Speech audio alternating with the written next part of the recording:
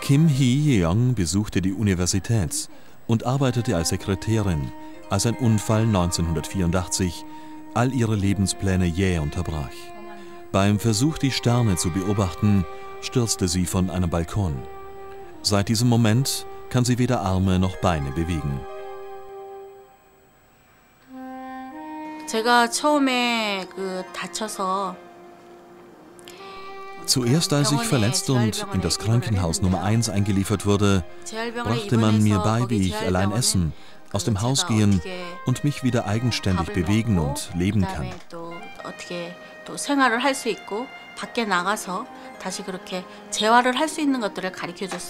Dort habe ich auch malen gelernt. In dem Krankenhaus gab es eine Schweizerin, die mich mit einem französischen Lehrer bekannt machte. So konnte ich schließlich auch das Malen lernen. Ich hatte wirklich Glück.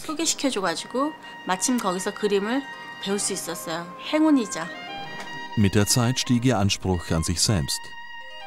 Um ihre Ausbildung abzuschließen, übersiedelte sie nach Indien und studierte bis 1997 als außerordentliche Studentin am Delhi College of Art.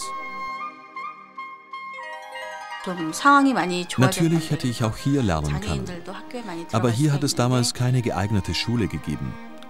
Jetzt hat sich die Situation um ein Vielfaches verbessert. Die Behinderten können viele Schulen besuchen.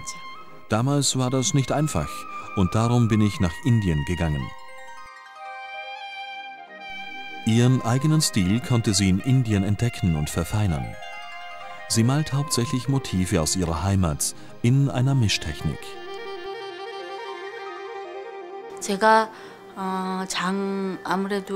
Da es für mich nicht einfach ist, mich außerhalb des Hauses fortzubewegen, habe ich nicht oft die Gelegenheit, mit der Natur, der Landschaft in Berührung zu kommen und mich an ihr zu erfreuen. Darum male ich Landschaften. Wenn ich die Natur male, scheint sie hierher zu mir zu kommen. Male ich die Natur immer und immer wieder, scheint mein Leben sich der Natur anzugleichen. Aus diesem Grund ist die Natur zum Motiv meiner Bilder geworden.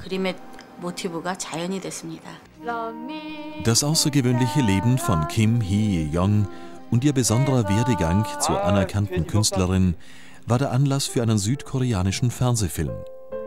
Heute, viele Jahre nach dem Unfall, kann sie den Wendepunkt in ihrem Leben erneut betrachten, gespielt von einer Schauspielerin. Ein Moment, der Erinnerungen hochkommen lässt.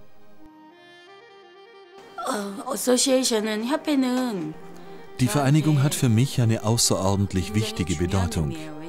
Denn als ich damals verletzt wurde, habe ich viel darüber nachgedacht, was ich in der Zukunft wirklich machen könnte.